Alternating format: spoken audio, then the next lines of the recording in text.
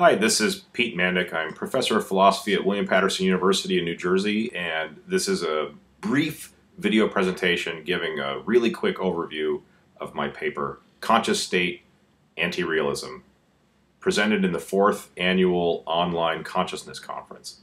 So the, um, the basic thing that I'm arguing for is a kind of anti-realism about conscious states. This anti-realism might be thought of as a kind of idealism. It says something like a, um, a state's being conscious, like, for example, the conscious perception of the visual image on the screen that you're looking at right now.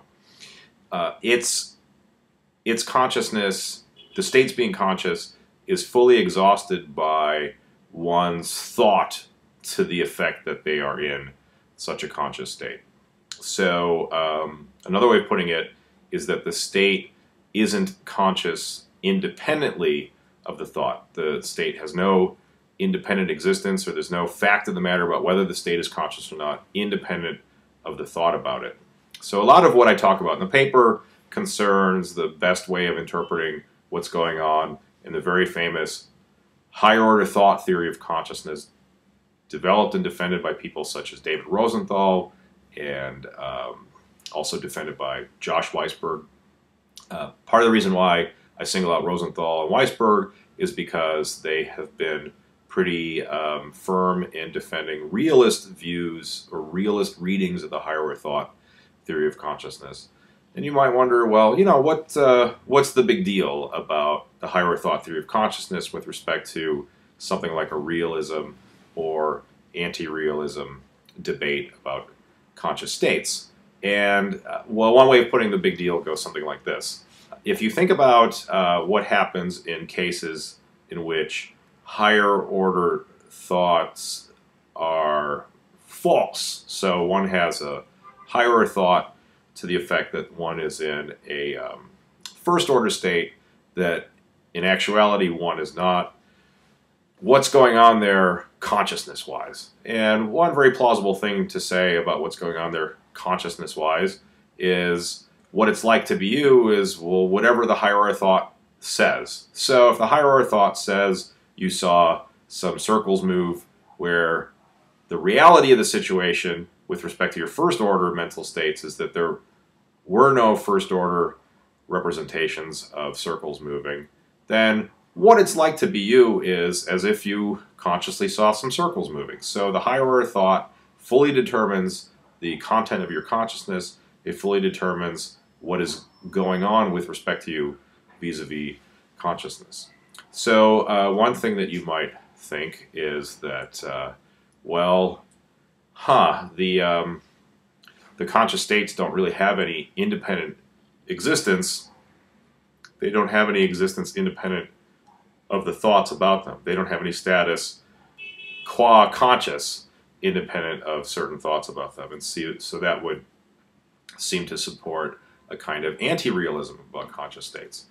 But another thing that you might think about um, the higher order thought theory is that these uh, these states about which the higher thoughts are thoughts, the, the higher thoughts are, are about certain states, uh, and those states are there independently of being thought about.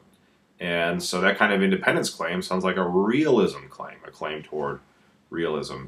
And uh, so, what uh, what is the issue? Well, as I try to put in the paper, the issue can be put in terms of whether it's better to read the higher thought theory of consciousness um, on a relational reading or a non-relational reading what does it mean to read it in the, one of these uh, two different ways? On a relational reading, the, what the, the way to understand uh, state being conscious is in terms of a relation between a state and the higher order thought that it's about. So um, this is, this kind of relational view is something that really becomes uh, clear if we think about cases in which there is a state which is initially unconscious, some unconscious first order state, and at some later time it becomes conscious, Now you might ask, on the higher thought theory, what is it that made this state go from being an unconscious state from being a non-conscious state? And the answer seems to be that there's this other state, which is the higher thought about the first state. So we've got two different states, and you might think that where you've got two different things, there might be some relation between them. So in this case, we've got this first thing, which is the first order state. It goes from being unconscious to being conscious in virtue of there being some high order state about it. So we've got candidates for relata in a two-place relation. And what is the two-place relation if this is going to be a relational reading? Well, the two-place relation looks like something like the aboutness relation or the representation relation. The relation is that the high order thought is about that first order state. And in virtue of bearing that relation to the first order state, the first order state becomes conscious. So there you go. There's a relational reading of what's going on in the higher thought theory of consciousness, at least with, with respect to some states and how those states become conscious. But then you might wonder about what about these other sorts of situations, situations in which the higher thought is false, and perhaps even uh, false because the higher order state that it seems to be about doesn't exist at all. So um, you might think that uh, the higher order thought, even in these empty cases, these empty higher order thought cases, is about something. It's um, you know, it's got aboutness, it's got representational content, whatever that amounts to.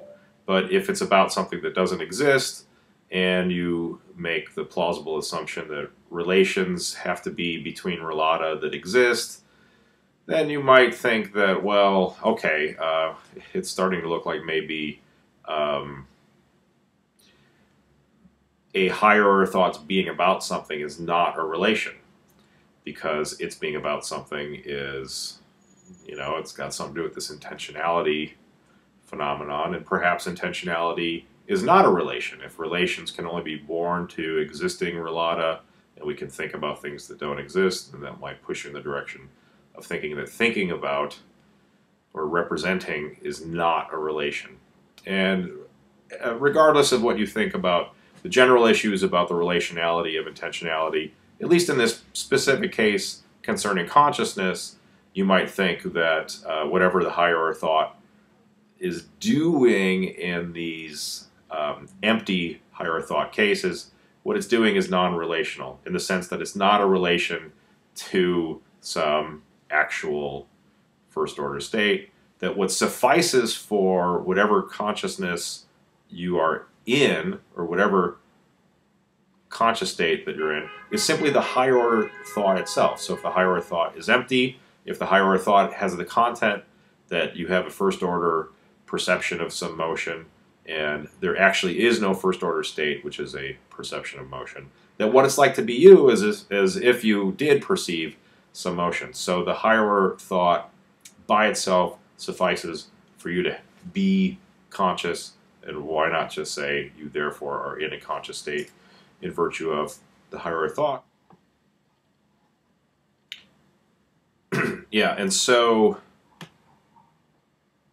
if in, if in the empty higher thought case you are conscious solely in virtue of what's going on with the higher thought, if the higher thought itself suffices for you to be in a conscious state, then what's the right thing to say about the earlier case, the case that seemed to support the relational reading, um, in which you know, there's two states. There's the the existing state and the higher order, the existing first order state, and the higher order thought that's about it. Um, well, given what was said about the empty case, you might be inclined to think that even in the non-empty case, the first order state is irrelevant. This so-called first order state, um, given that there is no such thing as a representation relation or an intentionality relation, that the uh, the first order state is irrelevant for consciousness. That the higher order state itself suffices for you to be in conscious in a conscious state, regardless of whether it's a empty higher order thought or not. And why not then say that you are an anti-realist about consciousness or about conscious states. So that's the main flavor of what the talk is about or what the paper is about. There, I guess now is not actually a talk. There's just this super brief synopsis. But anyway, I hope you uh, are interested in this enough to read the whole paper. And I look forward to the various comments and discussion that show up in the comment thread on Consciousness Online. Thanks very much.